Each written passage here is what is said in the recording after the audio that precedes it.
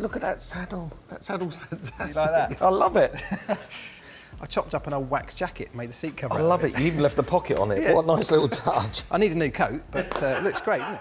Wheeler Dealers is one of the few British TV reality shows that made waves when it premiered. The show, produced by Attaboy TV for Discovery Channel in the United Kingdom and Motor Trend in the United States, is hosted by car enthusiasts Mike Brewer and Marc Priestley. While the show featured great mechanics like Edd China and Ant Anstead, Marc quickly became a fan favorite on the show due to his easygoing personality and extensive experience. The likes of Edd China and Ant Anstead glued viewers to their seats with their astonishing projects. Marc, who joined the show in its 17th season, isn't any different. His experience as a Formula One mechanic came in handy on Wheeler Dealers. There have been some controversies online involving Marc Priestley, so why don't you tag along as we uncover what really happened? They've refurbished the engine. It's been completely rebuilt. Brilliant. You're going to love it. Love that. I love the sound of that. It's got like an easier project already. Where is it?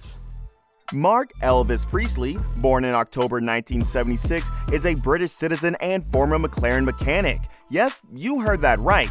The popular McLaren. After Marc's time at McLaren ended in 2009, he transitioned to a media career featuring in numerous TV shows.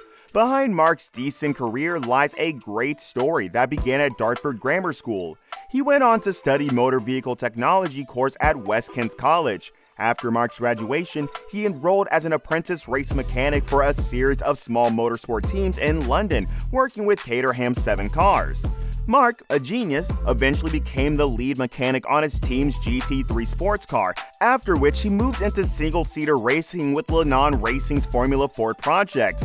Following a stint with the Speed Sports team in British Formula 3, Priestley was hired as chief mechanic at Orbit Motorsport in Formula 3000.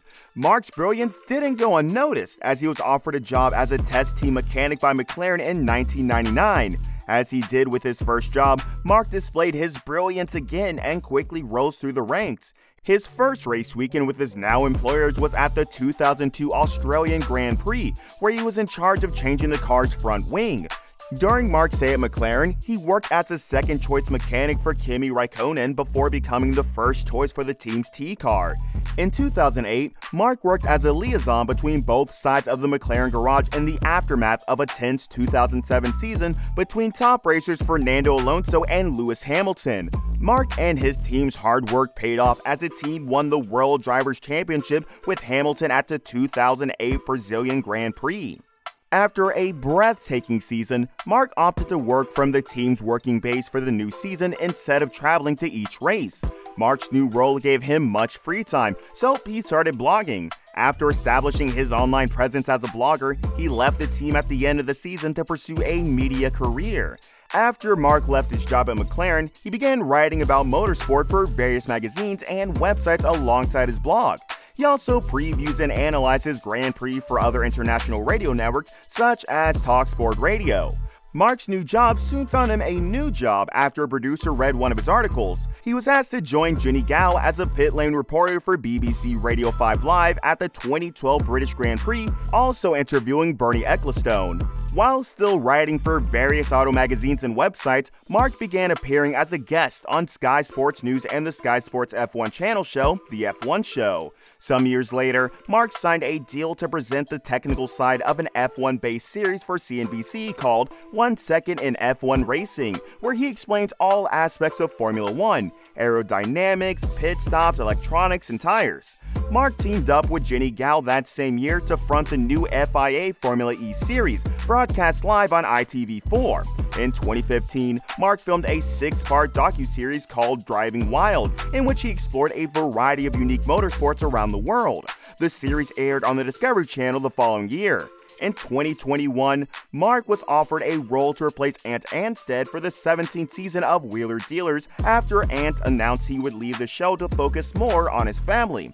In addition to his new job, Marc replaced the longtime voice actor Adam Rice D as the new voice actor of the race engineer in the F122 game. Marc's resignation from the McLaren might have come as a need to transition into the media industry, but after the release of Marc's book, The Mechanic The Secret World of the F1 Pit Lane, There were speculations that Marc didn't resign because he wanted to transition. Apparently, he left because he realized that with his years of experience at the pinnacle of motorsport, only the superstar drivers get all the praise and fame, while those who work hard behind the scenes are left in the shadows. The engineers, mechanics, and other crew members all unite to ensure the driver has a flawless race, but they don't get any recognition, hence the need to release his books, which reveal how much work the crew members do behind the scenes. He also discussed the secrets and rivalries they all encounter throughout their career. Marc has come far to establish his name as one of the greats in the media. His little time on Wheeler Dealers has so far been a good one, staying off controversies and all, but recently he was trolled for his comments on classic cars. Marc urged classic car owners to take precautions before considering a restoration project. He also advised drivers not to dive into a restoration that has challenges they can't handle and recommended that classic car owners find cars that suit their needs to maximize usability. Marc's words were advice stitched out to the class car owners and car restorers, but the public wouldn't have it. They believe when classic cars stop doing car restoration, auto themed reality TV shows like Wheeler Dealers will cease to run, and many of the auto guys will have to transition into another industry. Marc's comments on classic car owners were just harmless advice so that the folks won't spend a fortune on restoration, but the fans are not keeping it cool with him. Although Marc hasn't reacted to the trolling, he seems determined not to engage in an online war with fans and will only focus on his job as a renowned mechanic. Aside from the online trolling, Marc has had to deal with public stunts since his primary school days. You might have heard Marc fans call him Elvis online. Marc didn't get a name change, he was nicknamed Elvis right from primary school. In one of his podcast episodes in Car Throttle, his co host Mike Brewer claimed that the link between Marc and his nickname is tenuous.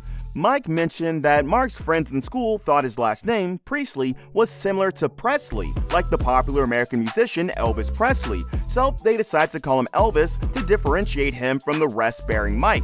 As a result, the name Elvis was born. Marc eventually added his nickname to the list of his names since his mother, wife, fans, and colleagues all call him Elvis. Working for McLaren was a dream come true for Marc. Besides gaining a lot of experience, Marc also made a fortune working for his former employers. Since he spent most of his time at McLaren as a second choice mechanic before rising through the ranks, he reportedly earned around $60,000 to $80,000 annually as a mechanic. Marc's little time as the first choice mechanic also means a pay increase estimated to be around $80,000 to $100,000 annually. Marc also boosted his net worth after he left McLaren to start writing for auto magazines and websites. His earnings for Autosport magazine are reportedly around $30,000 to $50,000. After his writing gig with Autosport, Marc signed a big deal with CNBC to work on one of their series and also featured in some of Discovery Channel shows before he replaced Ant Anstead as a mechanic on Wheeler Dealers. In 2017, Marc released his first book, The Mechanic The Secret World of the F1 Pit Lane, where he talked about the secrets and dramas behind the scenes of F1. Marc's book, which was well received by the public, sells for $16 on Amazon, contributing to Marc's net worth. Marc Priestley also runs a YouTube channel with almost 70,000 subscribers and more than 11 million views. As of 2023, Marc is estimated to be worth $1 million. Marc, or Elvis, whichever you call him, has made a name for himself in the auto industry, and his records speak for him.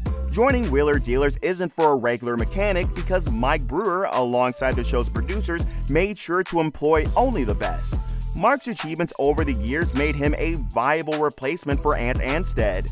Wheeler Dealer's latest episode featured Mike Brewer and Marc on tour in the legendary Gene Winfield's workshop to give viewers an insight into what Gene's workshop looks like. Although the current season of the show will end soon, there are plans to renew it immediately so that we will see more of Marc Priestley in action.